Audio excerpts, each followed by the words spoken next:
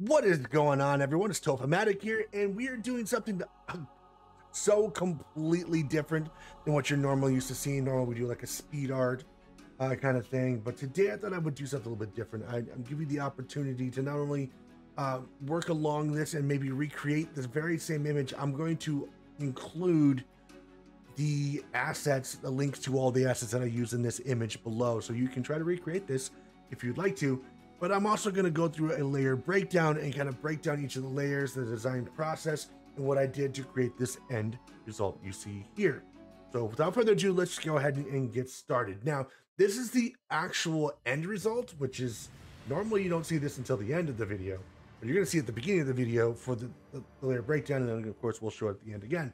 Um, so to get this was a series of multiple layers that we're going to break down as well as a finalized touch in uh, camera raw filter. And we're going to explain that process as well and go from there.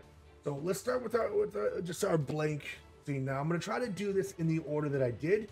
So don't mind the, the hopping around a little bit because these are in order of, uh, of what makes the most sense. But I always started, I, I started with my, my foreground building, which is the, the main structure of the layers.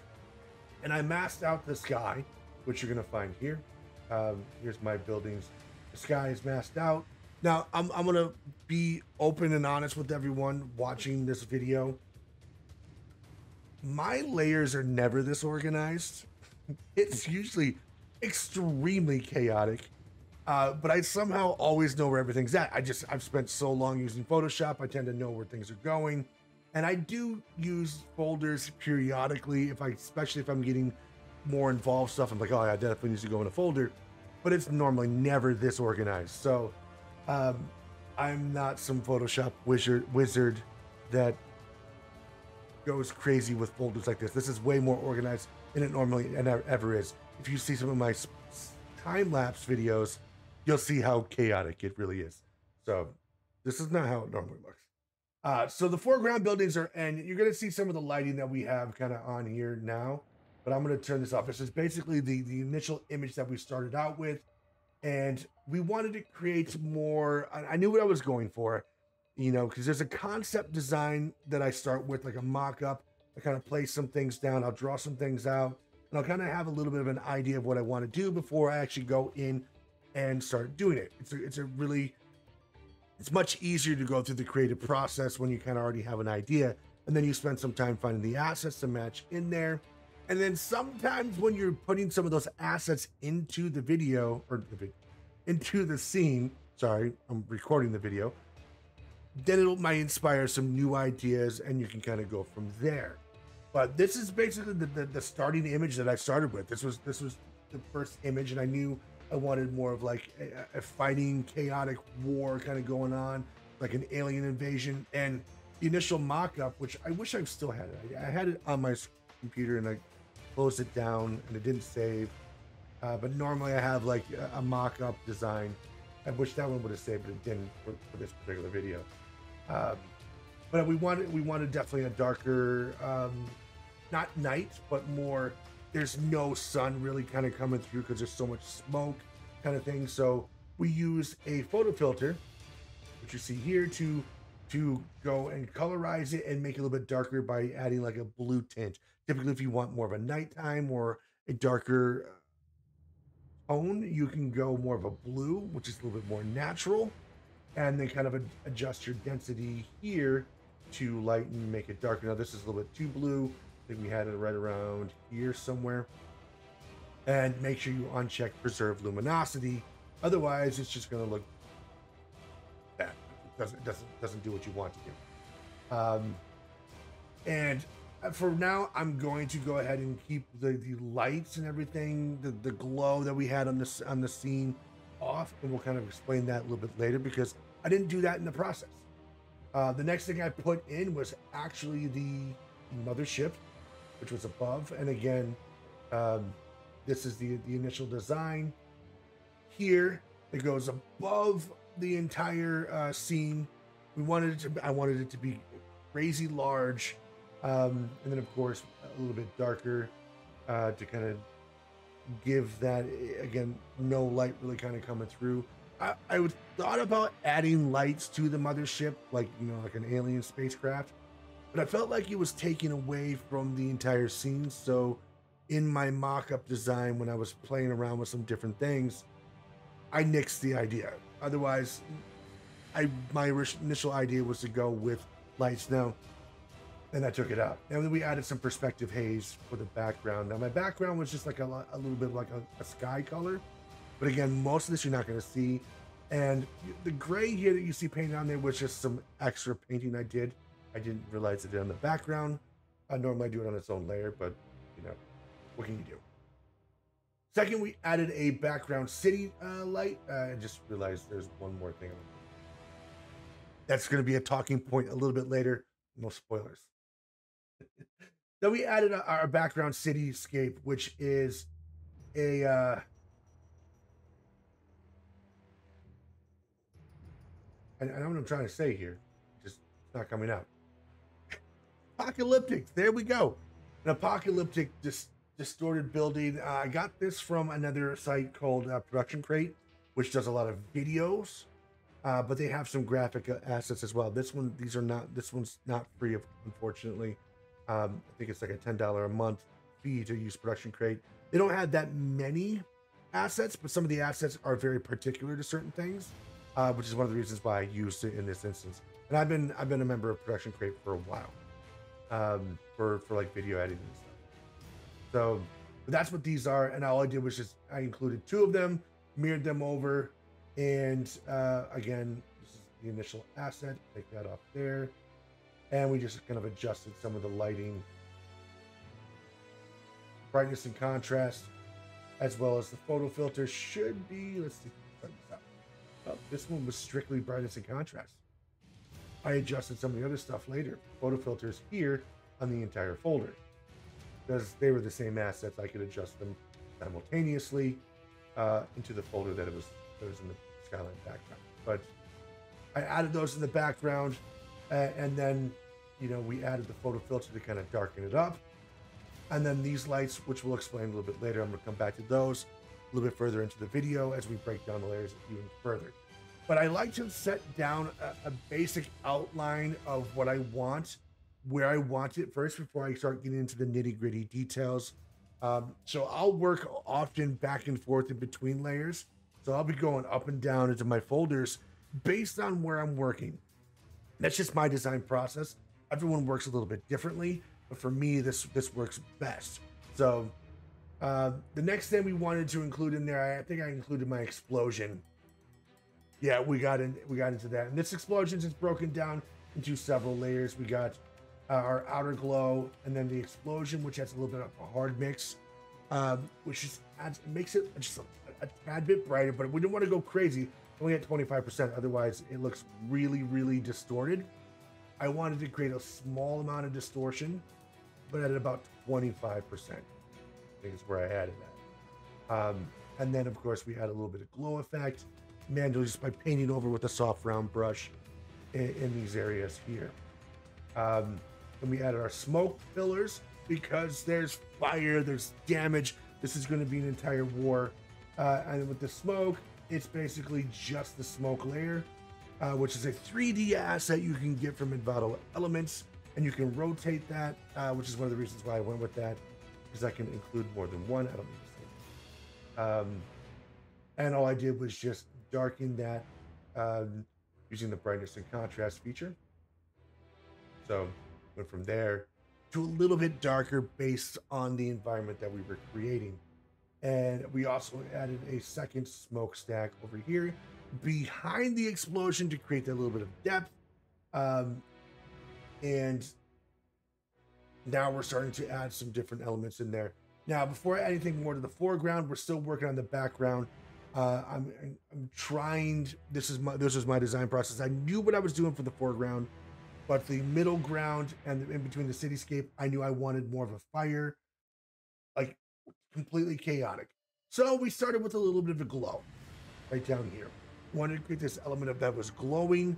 Um, and then we started adding the fire and flames, which we added to behind here.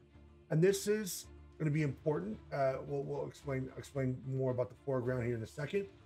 Uh, and all I did was just this is just a couple different fire uh, elements repeated and, and and moved around. This is this is the actual fire element that I that I put into the layer, then alt, then held down Alt, duplicated it, rotated it, kind of moved it around, which was perfect because it created a different look. It didn't feel like it was copied and pasted, but I didn't have to go and search for like a million different assets of flames. I could use the same one, just rotate it around. I made it a little bit brighter because for whatever reason it seemed to be a little bit too red in there and uh, added that. And then of course added another little flame over here to kind of make it feel like something was just caught fire and was burning in the background. Uh, and then we added this again, just brightness contrast, just to kind of adjust that a little bit because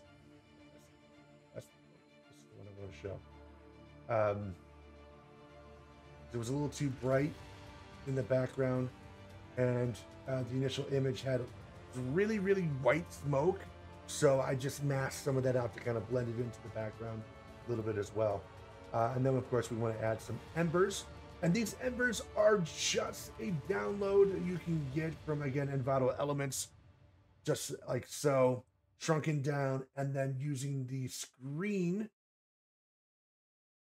screen category to, because your normal is going to look like this, screen to kind of hit down some of the darker background part of it, and then just a little bit of mask layer to kind of clean up the edges with a soft round brush we'll kind of clean it up, make it look more natural in the background. But now we got our embers in the background, and it definitely feels like there's a lot more fire. There's a lot of stuff going on in the background there, um, and I was very happy with that. But now we got to start working on the foreground a little bit, and that's where we're going to take you back into here.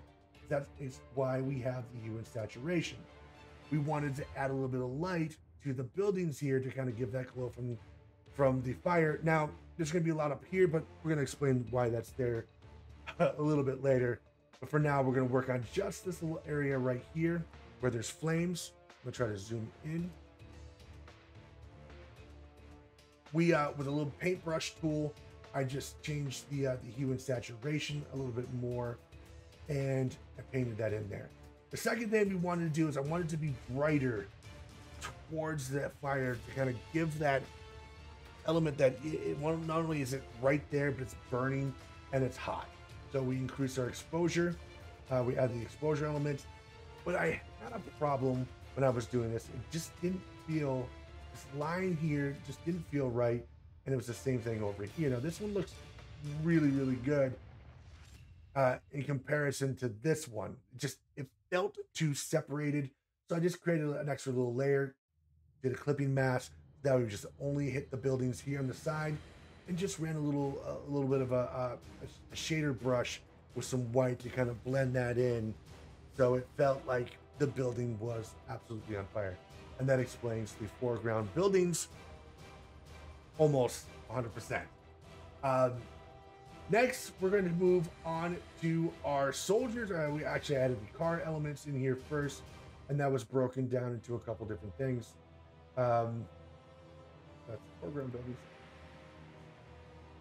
and so we added a car, some, some, some destroyed cars here, put into the foreground. and again, that's broken down into our photo filter to kind of darken it up a little bit, kind of match the environment, that blue, darker blue overtone. Not quite night, but just you gotta the feeling that it's just kind of dark, right? Now we're gonna go back and discuss the background because there's something I completely overlooked there went after the cars. Um, and then again, we're going to change the hue and saturation uh, that we add because I wanted to add some fire, but I needed to use this little element for glow. Uh, so the hue and saturation was added to kind of give a little bit of a reflective area, some parts that were not maybe on fire. Um, now this part, you're not going to see a whole lot because it was actually covered by another element. So I only work in the areas that I'm actually designing in. But we, there's another section that I completely missed, which is our smoke background. Completely forgot to click that back on. And, and this is just, again, our clouds. These clouds here. Just inverted, hitting Control I, which would take This part make it white, this part make it black, and just in the background to kind of give that really hazy, dark uh, background look. Um, once I got the car down, then we started adding our soldiers in. So we have a soldier here, which is broken down. Uh, again, we're going to click these all off. We can kind of break that down. I did all the soldiers all at once. So broke them down. And I'm going to take you through each of the elements here. They were pretty much from the same assets. I found them. Yes. Cash, not me. Where's my, where's my other soldier? I have one more soldier set somewhere. Oh, and here, soldiers three. And break this one down. So, take you through the final soldiers. There's three soldier assets. I wanted some that were a little bit further in the distance, hiding behind the car. There's someone that's running towards whatever danger we have going on here. And then this one's kind of in the back. Um, taking some shots. We're going to be taking some shots towards whatever aliens exist in the environment here. So, starting with this one down here, this is the first one I worked with, and we just added our photo filter, kind of match the environment a little bit more. But I wanted them to be a little bit darker, so we added some elements. We zoom in on these gentlemen over here, um, and that's where you kind of see the shadows. Now you're starting to see why there's elements here exist in the foreground because they're just basic lighting for like the fire that existed around the area and we have our hue and saturation. We added on to add some extra glow to uh, the tops and back of their uh, their helmets and their backpacks and their shirts. And we did the same thing with some exposure just to kind of brighten it up a little bit more, and even more exposure just reverse to kind of add some more shadow elements. And they're off in the distance, so they're not going to be as noticeable, but that's the breakdown of them and we move on to our running soldiers, which again, photo filter, a little blue hue to kind of match the environment. And we uh, darkened them up a little bit. We added a hue. again, there's a reason that these guys have uh, this element. We had the last step of the way, I added some fire. It was feeling a little, little empty over here in the corner. Um, so I added some fire, which would then add some brightness to these guys here, which is why you're gonna see them kind of lit up there.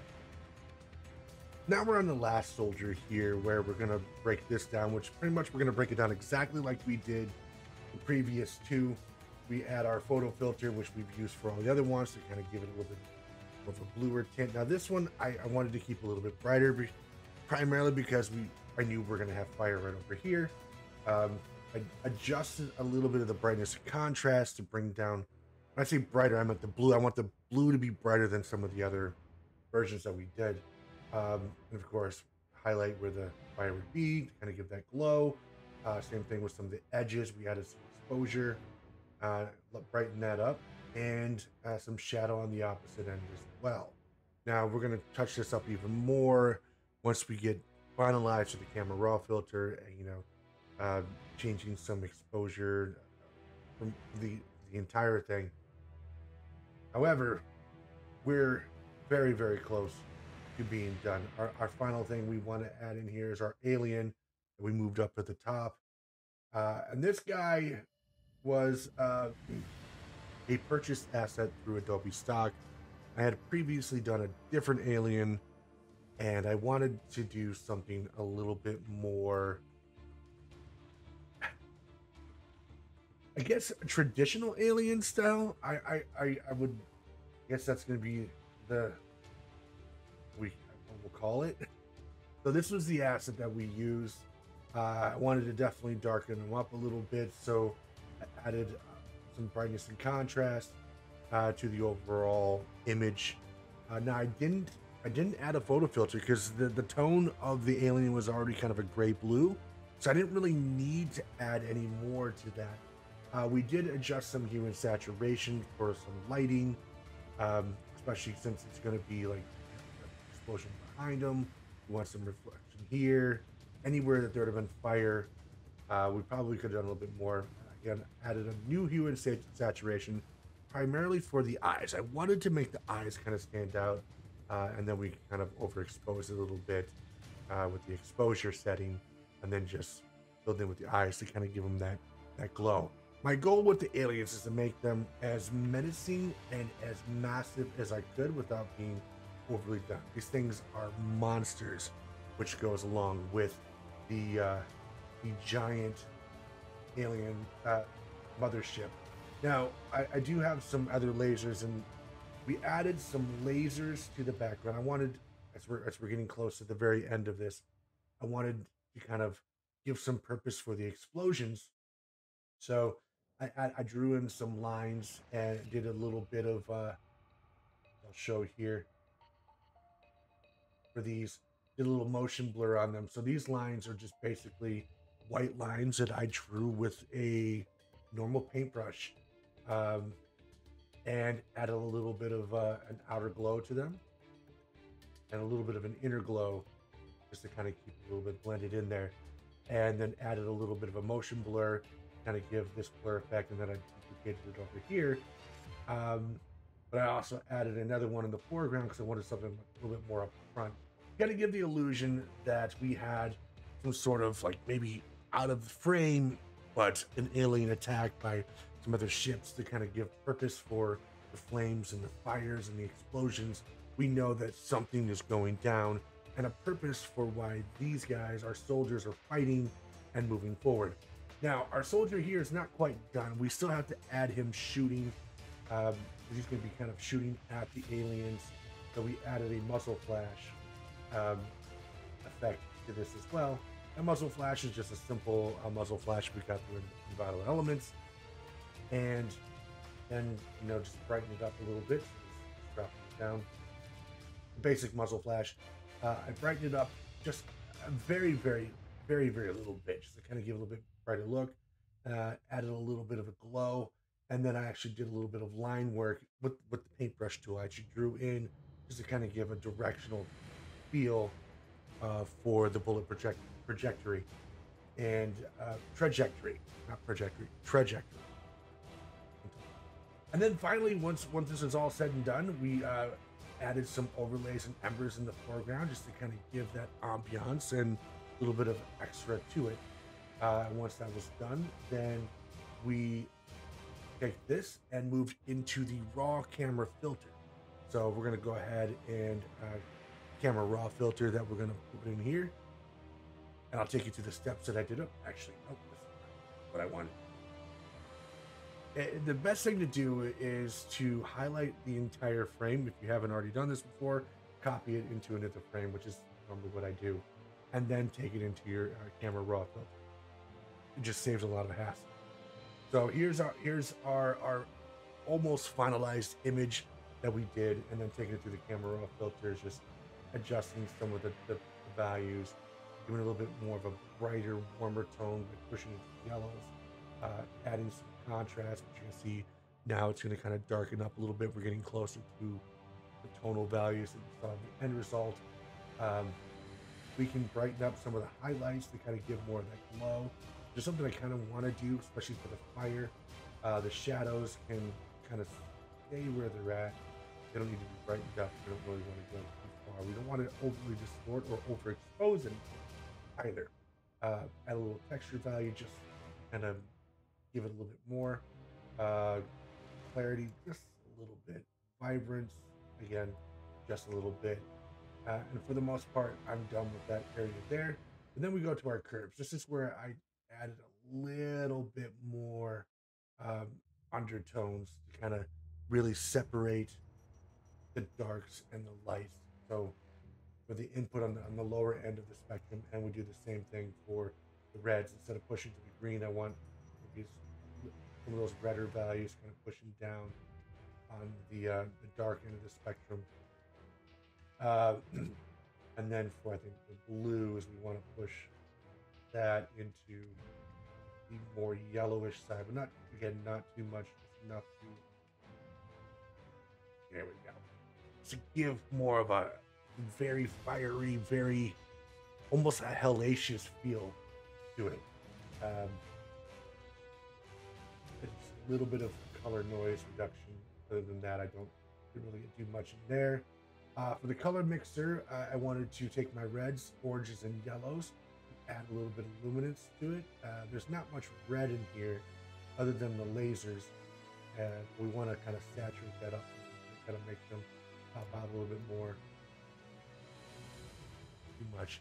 Uh, but for definitely for the oranges and the yellows uh, tones, I want to make sure that those are pushing into the right tonal values that I want.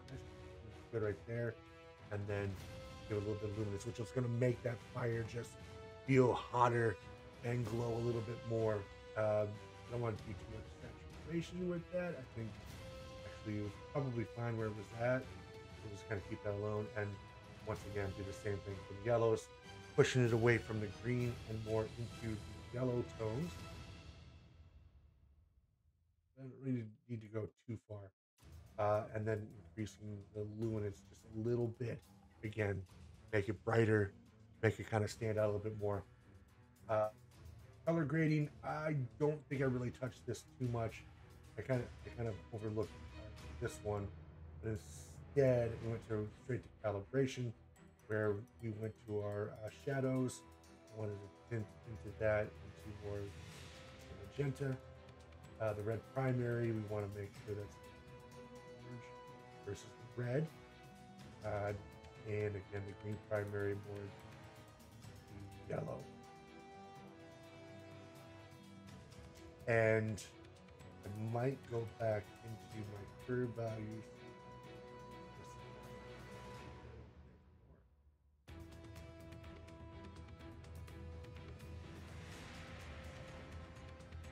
You can play around with the camera raw filter till you, get it to where you like it. We just hit OK. And end result is pretty similar to the one. I did a little distortion on the other one. A little distortion. This is the end result of we added a little bit darker tones uh, to it. But if you enjoyed this video, please, please give it a like. And if you're not already subscribed, make sure you subscribe below. But this was our behind the layers, our, our basically a layer breakdown. And hopefully you learned a little bit about how I designed, as well as maybe, you know, made a little bit easier for you to follow along. If you followed along, you want to create something yourself, feel free to send me uh, a sample of what you did, you know, whether you replicated it exactly or you made your own version. You can do so in the Discord. Uh, that link is below in the description as well. But you guys have a wonderful weekend, and until next time, keep creating.